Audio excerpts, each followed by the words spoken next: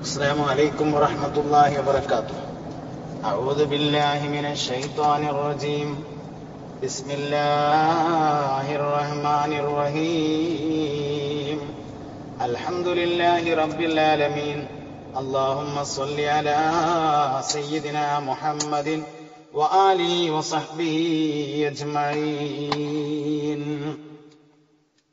مؤمنين عليه മുഹമ്മദ് നബി സല്ലാഹു അലൈ വസല്ലമയോട് ഒരിക്കൽ ഒരാൾ അധിക ആളുകളും സ്വർഗത്തിൽ പോകുന്നതിന്റെ കാരണം എന്താണെന്ന് അന്വേഷിച്ചതായി പറയുന്ന ഒരു ഹദീസിനെ സയ്യിദിന അബൂഹുറൈറ നിന്ന് ഉദ്ധരിക്കുന്നുണ്ട്.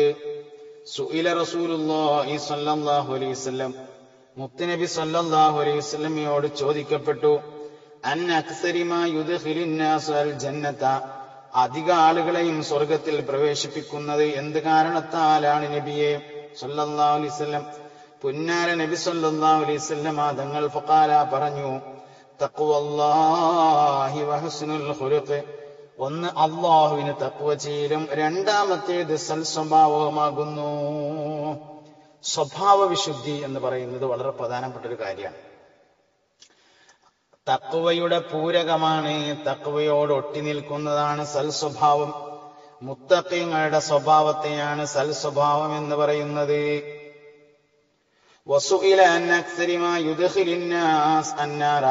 അധികാളുകളെയും നരകത്തിൽ കിടക്കുന്ന കാരണം എന്താണെന്ന് മുസ്തഫ നബി അങ്ങോട് ചോദിച്ചു വസല്ലം. അപ്പോൾ പുന്നാര നബി തങ്ങൾ ഫക്കാല പറഞ്ഞു അൽ ഫമു വൽ ഫർജു. വായയും ഗുഹ്യവുമാകുന്നു.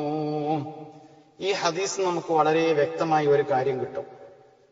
തക്കുവക്കും സൽസ്വഭാവത്തിനും എതിരെ നമ്മളെ മേത്തുള്ളത് രണ്ട് സാധനമാണ്. ഒന്ന് തൊള്ളേത്ത നാവും രണ്ട് കാലിന്റെ അടുത്ത് ഗുഹ്യസ്ഥാനവുമാണ്. മൻ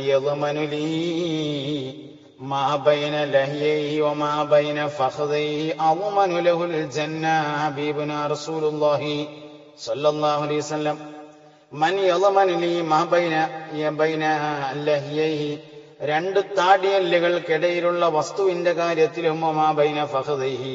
രണ്ട് തുടയല്ലുകൾക്കിടയിലുള്ള വസ്തുവിന്റെ കാര്യത്തിലും ആരെങ്കിലും എനിക്ക് ജാമ്യം നിന്നാൽ അതുമനുലഹുൽ ജന്ന അവന് ഞാൻ സ്വർഗം കൊണ്ട് ജാമ്യം നിൽക്കാം എന്ന് ഹബീബുന റസൂലുല്ലാഹി മനുഷ്യനെ ദുസ്വഭാവിയാക്കുന്ന രണ്ട് സാധനങ്ങൾ അതാണ് ഈ രണ്ടും പരിധി വിട്ടാൽ മനുഷ്യന് ഏറ്റവും കൂടുതൽ സ്വഭാവം മോശമുള്ളതായി മാറും. ഒന്ന് തൊള്ളേത്ത നാവ് കേടന്നാൽ രണ്ട് ലൈംഗികാവയവം കേടി വന്നാൽ അപ്പൊ ഇത് രണ്ടാണ് ഏറ്റവും വലിയ വിശുദ്ധി. അതാണ് തക്വയുടെയും സൽസ്വഭാവത്തിന്റെയും പ്രധാനമായ കാരണങ്ങളായി വരുന്നത്. സൽസ്വഭാവികൾ എല്ലാവർക്കും ഇഷ്ടമാണ് ദുസ്വഭാവികളെ എല്ലാവരും വെറുക്കും. ഒരു മനുഷ്യന്റെ ഈമാൻ കമാലിയത്തിലേക്ക് പോകുന്നു എന്നതിന്റെ അടയാളം സൽസ്വഭാവമാണ്. അക്മലുൽ മൂമിനീന ഈമാനൻ അഹ്സനും മൂമിനീങ്ങളിൽ നിന്ന് ഈമാനിനാൽ ഏറ്റവും കമാലിയത്തുള്ള ആൾ അഹ്സനും ഹുലുഖ സ്വഭാവത്താൽ ഏറ്റവും നല്ലയാളാണ് എന്ന് ഹബീബിന റസൂലുള്ളാഹി സ്വല്ലല്ലാഹു അലൈഹി വസല്ലം തങ്ങൾ പഠിപ്പിച്ചിരിക്കുന്നു. വഹിയാറുക്കും ഹിയാറുക്കും ലിഅഹ്ലിഹി നിങ്ങളിൽ ഏറ്റവും ക്വാളിറ്റിയുള്ള ആൾ നിങ്ങളിൽ ഏറ്റവും ഹൈറായ ആൾ അവന്റെ ഭാര്യക്ക് അല്ലെങ്കിൽ അവന്റെ ഇണക്ക് അവന്റെ ബന്ധുവിന് അവന്റെ അഹലിന് അല്ലെങ്കിൽ ഭർത്താവിന് ഏറ്റവും കൂടുതൽ ഹൈറായ ആളാണ് നാട്ടുകാർക്കൊക്കെ വേണ്ടപ്പെട്ട ആളായിട്ട് കാര്യമില്ല.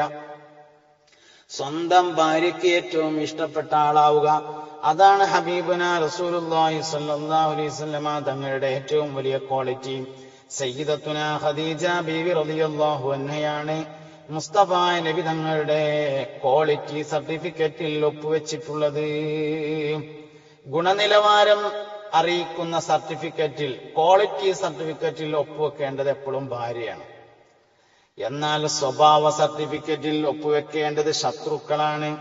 ഒരു മനുഷ്യൻ തന്റെ മിത്രത്തോട് എങ്ങനെ പെരുമാറുന്നു എന്ന് നോക്കിയിട്ടല്ല അവന്റെ സ്വഭാവം തീരുമാനിക്കുന്നത്.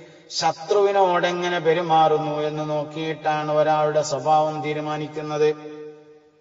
മുസ്തഫ നബി അലൈഹി തങ്ങൾ അബുബക്കറിന് സിദ്ദീഖ് റളിയല്ലാഹു അൻഹുവിനോട് എങ്ങനെ പെരുമാറി എന്നതല്ല സ്വഭാവത്തിന്റെ മേന്മ. ലയനത്താക്കപ്പെട്ട അബൂജാഹിലിനോട് എങ്ങനെ പെരുമാറി എന്നതാണ് സ്വഭാവത്തിന്റെ മേന്മ. മിത്രത്തോട് എങ്ങനെ പെരുമാറുന്നു എന്നതല്ല സ്വഭാവത്തിന്റെ ഗുണം. ശത്രുവിനോട് എങ്ങനെ പെരുമാറുന്നു എന്നതാണ്. എടാ അബൂജാഹിലെ ഉളുപ്പില്ലാത്തവനെ ധൈര്യം ഉണ്ടെങ്കിൽ ഇറങ്ങി വാടാന്റെ പല്ല് ഞാൻ തച്ചു ചോദിച്ചു അങ്ങനെയൊന്നും പറഞ്ഞ ഒരു ഹദീസും കാണാൻ കഴിയൂല. ഗുണനിലവാരം ശത്രുവിനോടുള്ള പെരുമാറ്റത്തിൽ നിന്നാണ് മിത്രത്തോടുള്ള പെരുമാറ്റത്തിൽ നിന്നല്ല. അപ്പൊ സ്വഭാവ സർട്ടിഫിക്കറ്റിൽ ഒപ്പുവെക്കേണ്ടത് ശത്രുവാൻ ഗുണനിലവാര സർട്ടിഫിക്കറ്റിൽ ഒപ്പുവെക്കേണ്ടത് ഭാര്യയുമാണ്. അഭിപ്രായം അഭിപ്രായ വ്യത്യാസം ഇതൊക്കെ സ്വാഭാവികമാണ്. അത് വെറുപ്പും നിഫറത്തും വൈരാഗ്യവും പകയും ഒന്നുമായി മാറാതിരിക്കാനാണ് യഥാർത്ഥത്തിൽ നമ്മൾ ശ്രദ്ധിക്കേണ്ടത്. മനുഷ്യനെപ്പോഴും സൽസ്വഭാവിയായിരിക്കണം. ഒരാളുടെ സ്വഭാവം നല്ലതാണെന്ന് അവനല്ല പറയേണ്ടത് മറ്റുള്ളവരാണ്. എന്നെ പറ്റിയിട്ട് എനിക്ക് ഞാൻ നല്ല സ്വഭാവമാണെന്ന് അഭിപ്രായം ഉണ്ടായിട്ട് കാര്യമൊന്നുമില്ല. മറ്റുള്ളവർക്ക് എന്റെ സ്വഭാവത്തെ കുറിച്ച് എന്താണ് അഭിപ്രായമുള്ളത്? അതാണ് എന്റെ സ്വഭാവ സർട്ടിഫിക്കറ്റ് എന്ന് പറയുന്നത്. ഒരു മനുഷ്യൻ സൽസ്വഭാവിയാണോ എന്ന് തിരിച്ചറിയാൻ ഒരുപാട് അടയാളങ്ങളുണ്ട് എന്നാണ്. ഏറ്റവും പ്രധാനപ്പെട്ടത് ഏഴ് അടയാളങ്ങൾ ഒരാളുടെ സൽസ്വഭാവത്തെ തിരിച്ചറിയേണ്ടത് എന്നാണ്. ഒന്ന് മുഖത്ത് വിരിയുന്ന പ്രസന്നതയാണ് പുഞ്ചിരിക്കുന്ന ഭാവം. ഒരു മനുഷ്യൻ ഓമിനായ മനുഷ്യൻ ഉണ്ടായിരിക്കേണ്ട പ്രധാനപ്പെട്ട ഒരു ഗുണമാണത് ത്വലാഖത്തുൽ വജീമിനൽ ഈമാൻ. മുഖപ്രസന്നത ഈമാനിന്റെ ഭാഗമാണെന്ന് മുത്തുനബി സല്ലാഹു അലൈഹി വസല്ലമ പറഞ്ഞിരിക്കുന്നു. രണ്ടാമത്തേത് തർക്കവും അഭിപ്രായ വ്യത്യാസവും കുറയാന്നുള്ളത് സൽസ്വഭാവികയുടെ അടയാളാണ് ആവശ്യത്തിനല്ലാതെ സ്വന്തം പക്ഷം വിജയിക്കാൻ വേണ്ടി തർക്കിക്കൂല എന്നാണ്. സത്യം വിജയിക്കാനേ തർക്കിക്കുള്ളൂ സൽസ്വഭാവികൾ പലപ്പോഴും നമ്മൾ തർക്കിക്കുന്നത് നമ്മൾ പറഞ്ഞ കാര്യം വിജയിക്കാൻ വേണ്ടിയിട്ടാണ്. തർക്കവും അഭിപ്രായ വ്യത്യാസവും കുറയും. അത് സൽസ്വഭാവത്തിന്റെ അടയാളാണ് ക്ഷമാശീലരായിരിക്കും എന്നത് സൽസ്വഭാവികളുടെ അടയാളമാണെന്നതാണ് മൂന്നാമത്തേത്. നാലാമത്തേത് സ്വന്തത്തെ കുറ്റപ്പെടുത്തുകയും മറ്റൊരാളെ കുറ്റപ്പെടുത്താതിരിക്കുകയും ചെയ്യുമെന്നത് സൽസ്വഭാവികളുടെ അടയാളമാണ്. മറ്റുള്ളവർ ചെയ്യുന്നതിനൊക്കെ ന്യായം കണ്ടെത്തും സ്വന്തം ചെയ്യുന്നതിന് ന്യായം കണ്ടെത്താതിരിക്കുകയും ചെയ്യും. നമ്മൾ പിന്നെ ദൂർജമാ ജമാഅത്ത് നടക്കുമ്പോ പള്ളിക്കൊക്കെ കയറിയില്ല. പഠിച്ചോനെ അത് വലിയ മോശമായി പോയല്ലോ എന്ന് നമ്മൾ കരുതും.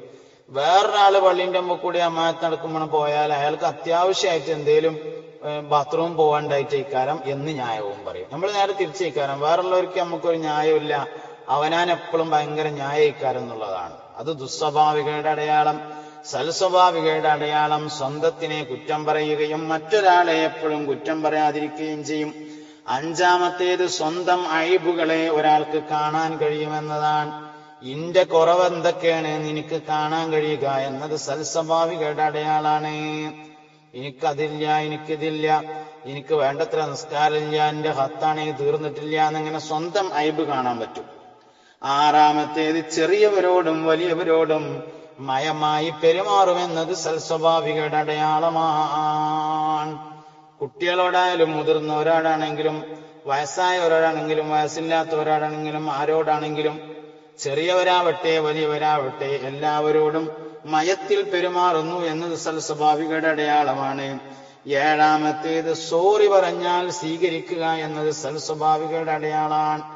എന്റെ അടുത്ത് പറ്റിപ്പോയതാണ് ടോങ്ങളിനോട് ക്ഷമിക്കണം എന്ന് പറഞ്ഞാൽ സാരല്ല എന്ന് പറയും. അത് സൽസ്വഭാവികയുടെ അടയാളമാണ്. ഏ എന്റെ ഒരു കോറി ഇജിപ്പ് വന്നിക്കണമെന്ന് പറയലല്ല സൽസ്വഭാവികയുടെ അടയാളം.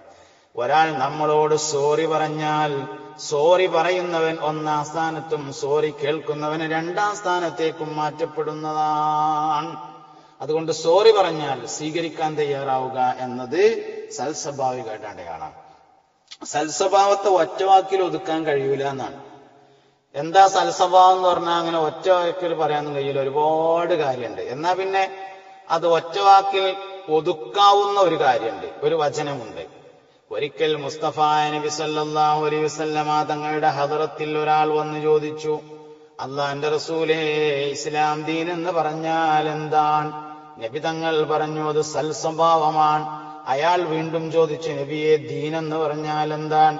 മുത്തുനബി സല്ലാ അലിസ്വല്ലം പറഞ്ഞു അത് സൽസ്വഭാവമാണ്. അയാൾ വീണ്ടും ആവർത്തിച്ചു നബിയെ ദീൻ എന്ന് പറഞ്ഞാൽ എന്താണ്? മദ്ദീനു യാ റസൂലല്ലാ റസൂലെ ദീൻ എന്ന് പറഞ്ഞാൽ എന്താണ്? നബി തങ്ങൾ വീണ്ടും ആവർത്തിച്ചു. അദ്ദീൻ ഹുസ്നുൽ ഹുലഖി ഇസ്ലാം ദീൻ എന്ന് പറഞ്ഞാൽ അത് സൽസ്വഭാവമാകുന്നു. ഇനി വേറെ ഒരു മറുപടി കിട്ടൂല എന്ന് ഉറപ്പായപ്പോ അയാൾ പോകാൻ വേണ്ടി ഒരുങ്ങിയപ്പോ അള്ളാന്റെ റസൂൽ സല്ലാഹു അലൈഹി വസല്ലം അടുത്തേക്ക് വിളിച്ചിട്ട് ചോദിച്ചു ഒമാ ഹുസ്നുൽ ഹുലുഖി സൽസ്വഭാവം എന്നാൽ എന്താണെന്ന് നിനക്കറിയുമോ? അയാൾ പറഞ്ഞു അള്ളാഹു റസൂലു ആലം അള്ളാഹുവിനും അവന്റെ പുണ്യനബിക്കും സല്ലല്ലാഹു അലൈഹി വസല്ലമക്കും അറിയാം. നബിതങ്ങൾ പറഞ്ഞു ലാ നീ ആരോടും ദേഷ്യപ്പെടാതിരിക്കലാകുന്നു സൽസ്വഭാവം. നമുക്ക് ദേഷ്യം വരാതിരിക്കുക എന്നുള്ളതാണ്. ലാ തഗ്ളബ് അഹദാ. ആരോടും ദേഷ്യപ്പെടാതിരിക്കുക എന്നതാണ് സൽസ്വഭാവത്തെ ഒറ്റവാക്കിൽ ഒതുക്കാവുന്ന കാര്യം. അതുകൊണ്ട് മോമിനിങ്ങളെ എല്ലാവരും സൽസ്വഭാവികളാവണം. സൽസ്വഭാവികളെ അള്ളാഹു ഇഷ്ടപ്പെടും അള്ളാൻ റസൂൽ ഇഷ്ടപ്പെടും സല്ലല്ലാ അലിസ്വല്ലം മലക്കുകൾ ഇഷ്ടപ്പെടും സൽസ്വഭാവികൾ സ്വർഗാവകാശികളായിരിക്കും. സൽസ്വഭാവികൾ മുത്തങ്ങളായിരിക്കുകയും ചെയ്യും. സൽസ്വഭാവികളുടെ ഈമാൻ കമാലിയത്തിലേക്ക് പോവുകയും ചെയ്യും. അള്ളാഹു തൗഫീഖ് നൽകി അനുഗ്രഹിക്കട്ടെ. ആമീൻ. وآخر دعوتي أن الحمد لله رب العالمين. السلام عليكم ورحمة الله وبركاته.